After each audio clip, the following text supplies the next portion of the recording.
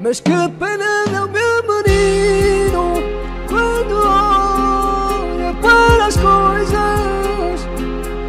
Ele viu tantas brinquedos, oh meu Deus, se pôs sorrindo.